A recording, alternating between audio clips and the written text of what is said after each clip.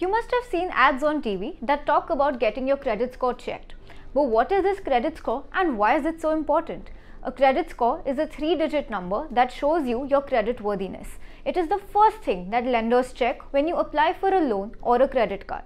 It gives them the idea of whether you can repay the borrowed sum on time or not. Hence, it is very important to maintain a good credit score.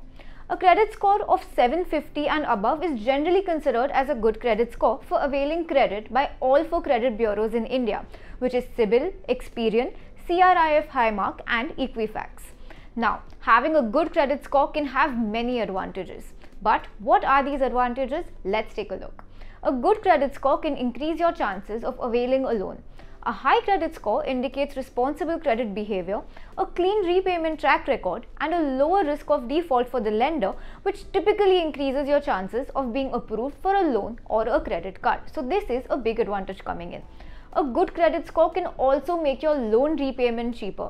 If you have a high credit score, lenders will provide you with a comparatively lower rate of interest for availing credit on a personal loan, a home loan, or your credit card. So, that's another big advantage.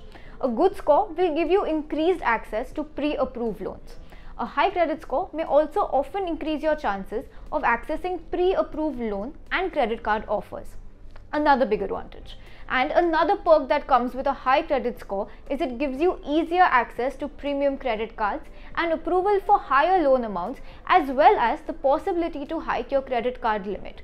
So, with all of these advantages coming in with a higher credit score, I'm sure you want to find out how to increase one. For that, stay tuned for the next video.